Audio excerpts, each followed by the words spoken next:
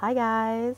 This is Diane. I'm coming to you today from South Africa. I've been traveling and working in South Africa for the past month, and today specifically, I am at the Letaba camp um, in Kruger National Park, and I have loved my time here. I think you can see some of the camp behind me right now. And, you know, I find that I'm really inspired and excited to get back home um, in the next couple weeks because I have so many new ideas for projects, strategies that I want to put into place that I am excited to share with my team and start to implement.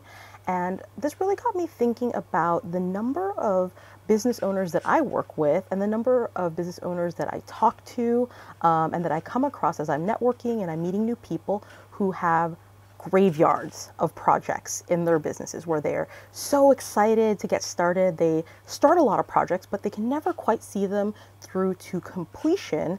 Um, or, you know, they have a lot of momentum going and then suddenly the project goes off the rails and they never talk about it with their team again. And, you know, after a couple months, they start to wonder to themselves, hey, I wonder what happened to that project that I gave my team or that I started with my team that they just have no idea what's happened to it or where it stands at that point. And really, what I wanted to, that's what I wanted to talk to you guys about today because when I hear um, a client or a business owner say, "Oh yeah, I have so many projects that I've started, but I've never completed, or I have, you know, just a list of projects that I want to implement but can't seem to get any traction on," my first two questions to them really are. Well, what is your communication process around how the project is planned and parceled out to your team? And then the second question is, what is the communication process around the execution of the actual project to your team? First of all, you have to have a process around how the project is approached and planned so that you know what the tasks are and your team also knows what the project is and that they're actually working on it. You would not believe the number of projects that I've started working on where, oh, there was a list of resources, but none of the team members really knew what their role within that project or task was, and whether or not it was actually done to satisfaction. So it's very, very important. As a first step, you have to have a process around how the project is planned and how people are notified as to what the project is, what they're working towards, and what their role in the project is. The second thing is you have to have a communication process around how the project is executed. How are people, how are your team members, how are your resources giving you updates? How are they letting you know whether things are going off the rails? How are they letting you know things are all good? How are they letting you know there's a, you know, a decision point for you to make?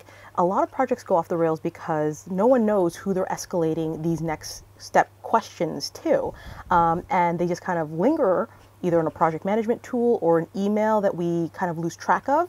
And that's where you see a lot of projects projects kind of fall to the wayside. So it's really key to have a project or a process, I'm sorry, a process around how your team is executing that project and uh, communicating those updates to you so that you know a where the project stands and you're not left wondering three months later like oh yeah what happened to that project and also um, you know if there's an escalation need if you know something is going off the rails or you know if there's a decision point for you that you can be brought back into the loop in a timely manner and that project maintains the momentum. If you put these two pieces in place i guarantee you if your your execution rate will not go to, if not 100%, very close to 100%.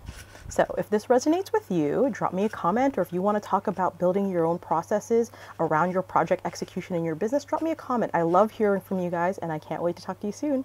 Bye.